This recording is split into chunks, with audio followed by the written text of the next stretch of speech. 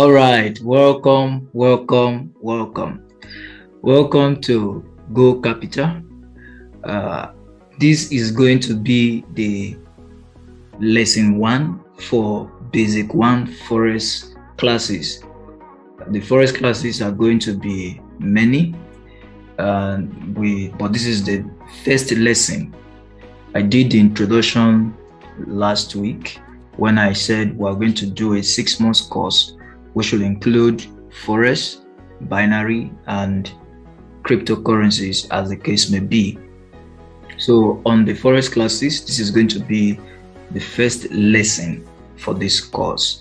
I'll join you to uh, watch this lesson and do the assignments inside because there's going to be assignment. Why? I want you to be carried along I do not want this to be the conventional YouTube tutorials that you have been attending. I just want this to be like a real life class as if you are physically present with me or as if you are on a Zoom section with me so that you, the class can be interactive. So the assignment you do are going to be the only way by which uh, I can uh, you know be able to cement your progress. So i want you to participate in the assignment that i will be giving i'll be giving assignment at the end of the class or in the middle of the class. So you just take notes and do the assignment. So at this junction i would like to tell you to go and pick up your notebook and your pen. And also if you find a way to download the video you can download. But i will especially love that you watch the video to the end and you share it with your friends so that um, you can uh, also impart others as I'm imparting you. So this is Forex Class Basic 1, Lesson 1. Okay, so uh, please, please, please smash the like button, press the subscribe button if you have not subscribed, you know, share this video and you can also put your comments below what you have to say about the video. And also remember i'm doing this as an offer for free because of people who made requests for it. I never had an intention of opening a channel here before so but uh, this is what i have to do now for the sake of everyone who wants to make money. And also um, i will please advise you uh, always answer the assignment, do the assignment, and you can post your answers in the comment section as that is the only place I can interact with you for now. All right, let's get started. Uh, Forex class basic one lesson one. Please, before the class starts, let me give a disclaimer. Um, trading leverage products such as Forex, derivatives, commodities, metals, binary, and crypto may not be suitable for all investors as they carry a high degree of risk to your capital. The materials and slides shared in this video are simply for education purposes. Go Capital will not be responsible for any loss incurred as a result of the information shared.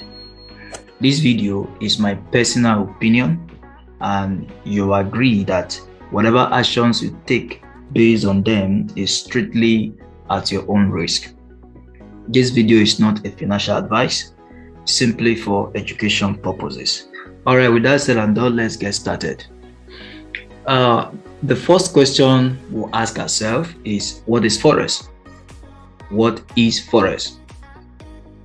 Forex is a coinage of two words foreign exchange foreign and exchange. So the first letter, uh, the first three letters of the first word foreign, and then the first two letters the when you coin them together, you have the word forex.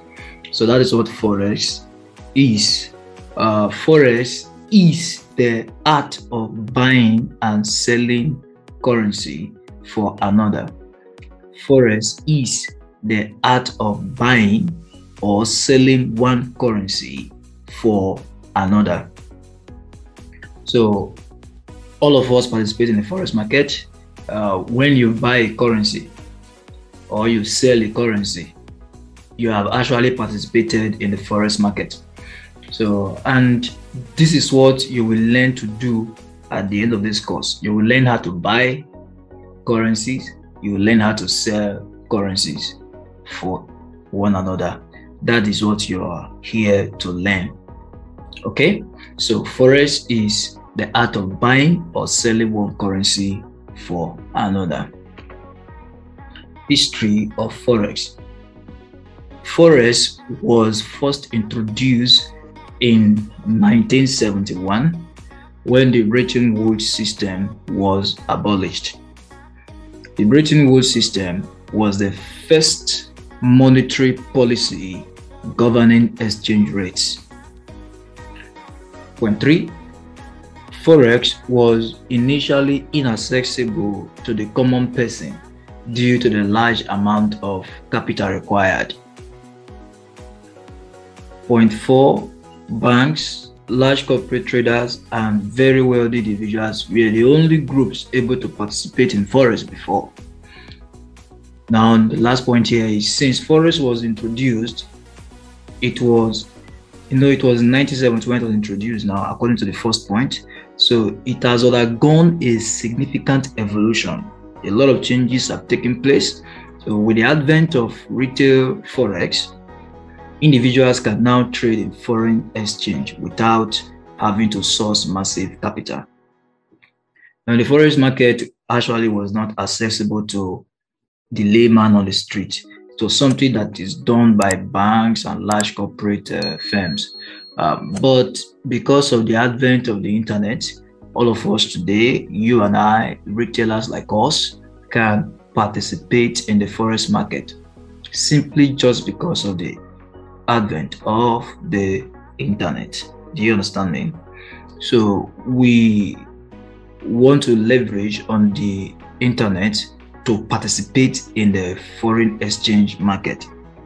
So the internet is one of the reasons why this is available to everyone at the moment. So the assignment you are going to take from this is you're going to read about the Bretton Woods Agreement or the Bretton Woods system. Don't mind my pronunciation. I'm a Nigerian, so um, just take it the way I'm pronouncing it. But I believe you can see for yourself and read for yourself. So assignment is number one, you have to read about the Bretton Woods Agreement system. What does it mean? What is that system about? You need to read about this because if you want to come and trade money when you come and trade currencies, you should know how money has evolved over the years. So number two, you read about the gold standard. Just type them like this on Google or any of your search engine and just search for it. Then three, read about the dollar standard. So if you can do this uh, little assignment, you will have a broader perspective of the history of forex. Now, I know you think you don't need the history of forex. You do, because you are going to stumble upon a lot of facts that will assist you in the advanced class. So I would like you to do this assignment, read about all of this as it is important to your growth. All right, the importance of Forex. Forex is the largest financial market in the world with approximately 6.6 trillion dollars traded on a daily basis. You know, that's huge. That's that's big. I don't know whether you understand, but that is actually really big. So it has approximately 100 times the value of the New York, London, and Tokyo Stock Exchange combined. Then the second point is market orders are executed immediately. Yeah, that's one important for us. Uh, it, it, has an advantage over other kinds of market. The orders are executed immediately. Therefore, Forex has high liquidity. You understand what all of these terms are. Liquidity is the available money for buying and selling in the market. If the available market, the markets quantity, the market's volume, the market, the amount of money available in the market for buying and selling. So liquidity is money in the pool, is the quantity of currency in the pool. That's to say it in a layman's language. Do you understand? So, point three, because of the sheer size of the foreign exchange market, it is not easily manipulated by media coverage or big buy and sell orders from corporate organizations or banks. Actually, banks trade against each other in this market corporate bodies, hedge funds, all kinds of uh, monetary bodies, they they trade the forex market. So the volume in the market is big, the size is large. So one of them cannot just decide to shake the market. It has to take a significant amount of orders for the market to change. So one single individual does not have the capacity to manipulate the forex market. Then number four, in comparison to the stock market, the forex market has low transaction or brokerage costs. Yeah, when you are participating in the forex market, you're going to be paying little, little, little, little fees, little, little fees like transaction fees. They call them commission. So all of these ones are, are when you compare it with the stock market, it is very, very low in comparison with the stock market. So that's one importance of forex. Then forex market participants. Who are those people that participate in the forex market? Who are those that trade the forex market? Number one, the super banks or the flow masters. The super banks or the flow masters. You can also call them the hedge funds. Examples of them are Citi, JP Morgan, UBS, Barclays, Deutsche Bank, Goldman Sachs, HSBC, Bank of America, and the list goes on and on and on and on. Now, second point here is large commercial companies. For instance, Apple. So Apple must first exchange its US dollars for the Japanese yen when purchasing electronic parts from Japan for its products. You know, Apple buys some parts from Japan. So when it's going to buy those kind of products, it has to exchange the dollars it has with uh, Japanese yen in order for transaction to take place. So that is also foreign exchange. Then the third point here uh, is government and central banks. Government and central banks. In fact, you can even include Federal Reserve as part of this list as well. So um, central banks, governments, uh, you know, just for example, the European Central Bank, Bank of England, Federal Reserve, they are all regularly involved in the forex market too. Then, lastly, here the speculators. The speculators are uh, entities, individuals, bodies that participate in the forex market by speculating. So they are not actually in control. Also, like they, they are not from they are not like the banks that trade from. Uh, they are like the central banks. They are they can be individuals. They can be hedge funds. They are speculators. They speculate prices. They they buy and sell currency with the hope that it's going to you know either buy or sell in the future. Do you understand? So they just speculate the market. Then the, the last I would have included, but I didn't, is retailers like us, individuals like us who don't have the big money that those people have. So all of these people here, they are the all the big guys in the market. They are the ones that can actually move markets significantly if a good number of them gets involved in trading. Factors that affect the forex market. Number one of the factors I will look at here is interest rate. There are many, many, many, many, many other factors. The list is endless, but I just want to look at these ones because uh, they are important. Uh, number one is interest rate. The interest rate is the the amount of a lender charges a borrower and a percentage of the amount loaned. Uh, why did I pick this definition? I want to tell you that all money you have is not your money. The money you have currently in your hand belongs to your government. Yes, all money is loaned to you. The money you are using to eat, the money you're using to buy clothes and everything. I know you think you work for them. You have been laboring at your place of work. you got a job and you are being paid salary. At the end of the day, please note that every money you have belongs to your government. They actually loan it to you. So all money in circulation in any economy is lended, is borrowed to the public. So that means the government, the central banks, they have the autonomy to raise interest based on that money. And this is how the circle works. This is a circle.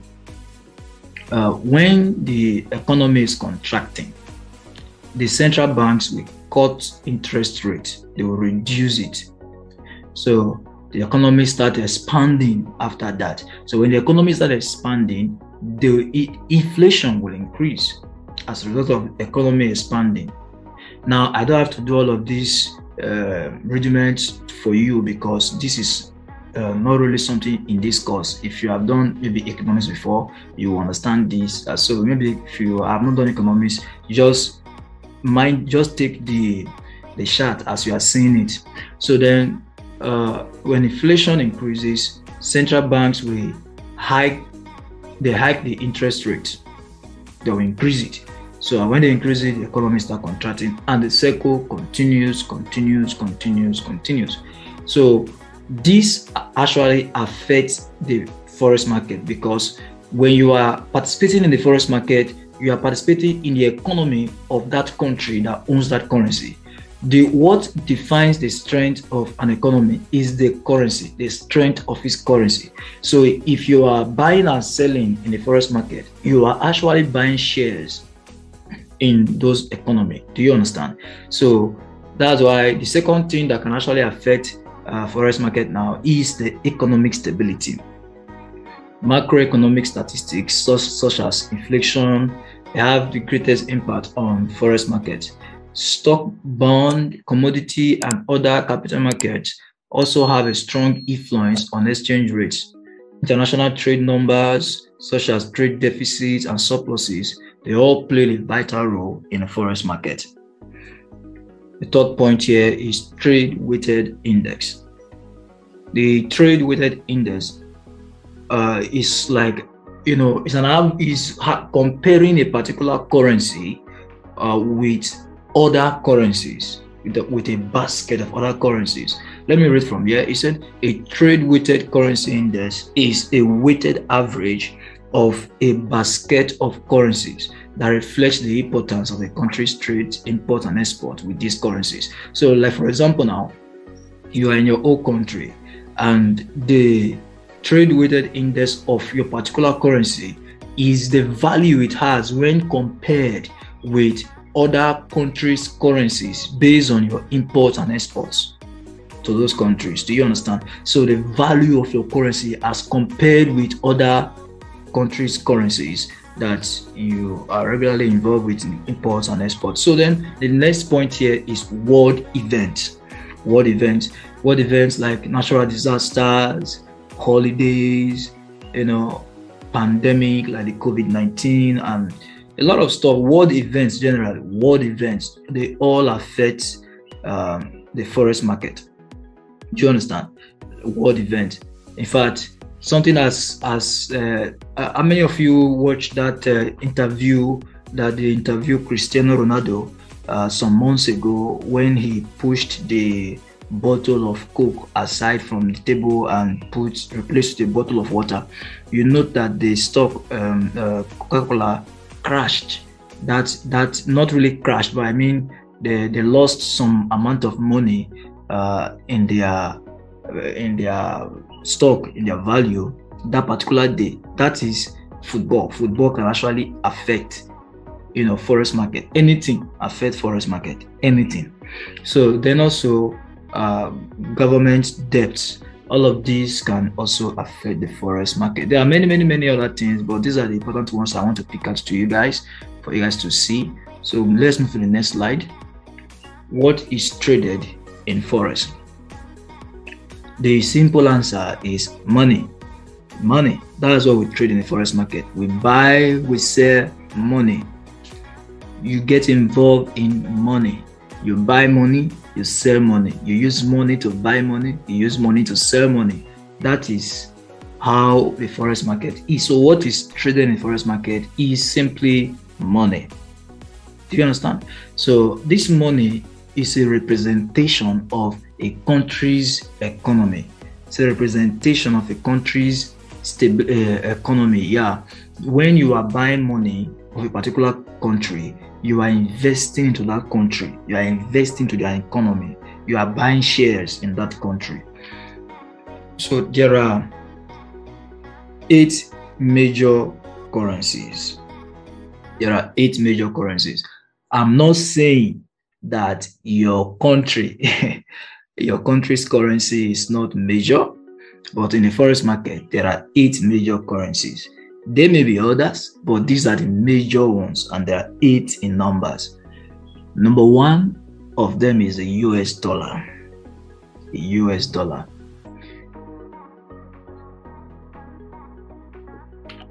The US dollar is the number one of them, and um, it is represented with USD. This is a symbol for it, USD.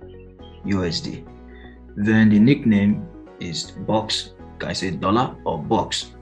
So those are some of the the, the terms that forex traders uses.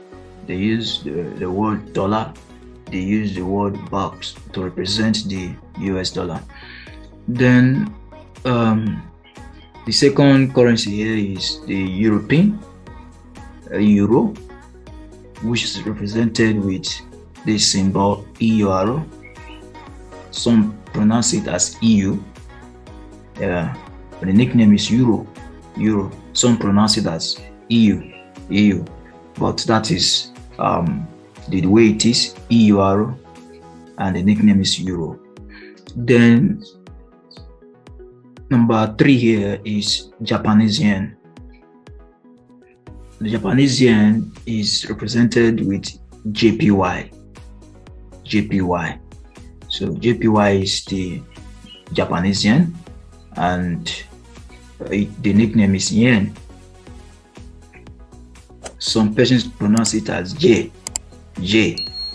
So then um, the fourth one here is the British pound.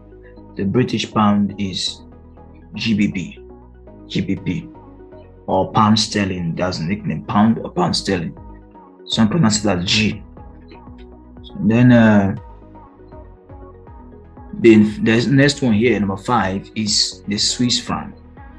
The Swiss franc, CHF. That's a symbol. The nickname is Swissy. Then the next one here is the Canadian dollar.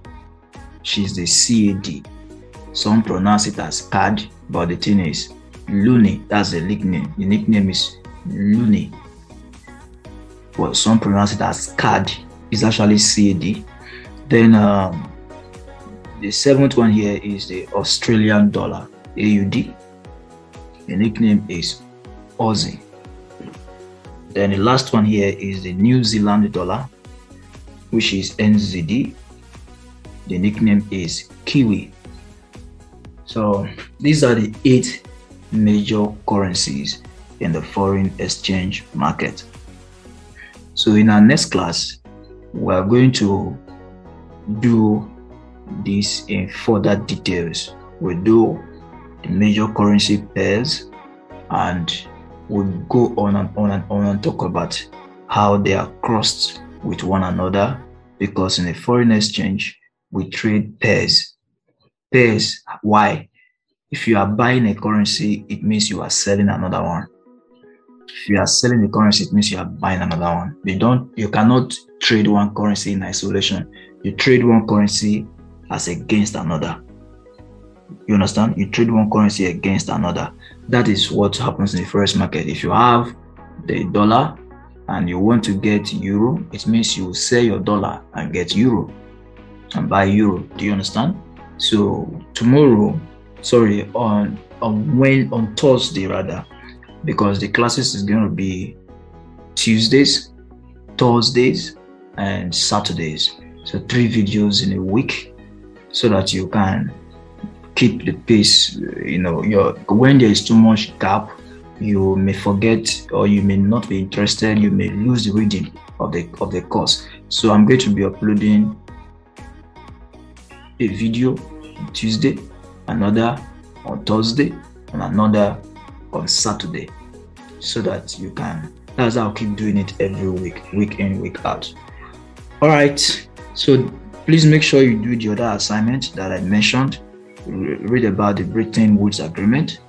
Um, read about the gold standard. Read about the dollar standard and um, the only thing I ask you after this point is please like the video press the subscribe button. If, if you have not subscribed we have more coming in more more more content coming in. And then uh, share this video to your friends. All right. Thanks for watching